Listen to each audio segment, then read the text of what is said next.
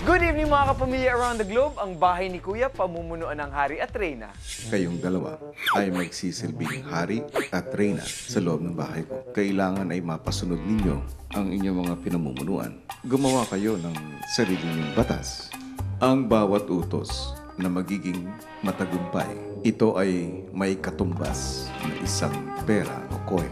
Saan kaya nila gagamitin ng special coins? Samantala, may isang mister ang mangungulit sa mga housemates. Hello, I'm Mr. Big. Hey, Mr. Big! Hello, Miho! Ah, Alster. Wow, si Arya to. Alster. I will take you to England. Oh. How are you? Fine, thank you. I'm fine.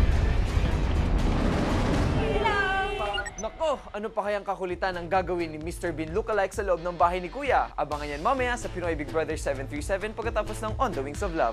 At mga kapamilya, keep on texting kung sino kay Margot at James ang karapat dapat pang manatili sa loob ng bahay ni Kuya. Just text BB space name of housemate. Ako po si Enchong D, ang homeboy sa bahay ni Kuya para sa PBB 737 Updates.